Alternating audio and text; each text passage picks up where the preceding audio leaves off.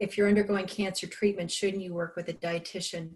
Um, if your oncologist or if their oncologist recommends that they work with a dietitian, absolutely, and you never go against you know doctor's orders or recommendations, or if the dietitian recommends something, they're prescribing a diet.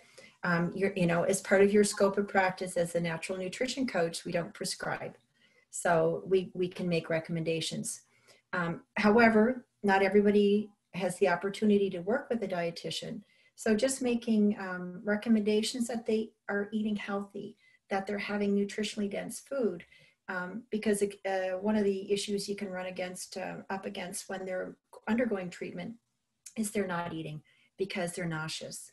Um, cancer cachexia, they get muscle wasting, and we know the prognosis if they're wasting away essentially is not not as favorable as if they're actually being able to eat and at least maintain. So helping them make those healthy choices. Um, but beyond treatment, um, many people are in survivorship for years for the for the rest of their lives. So here's a huge opportunity because they need to eat healthy.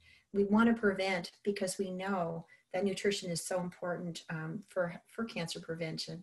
So uh, good good healthy eating.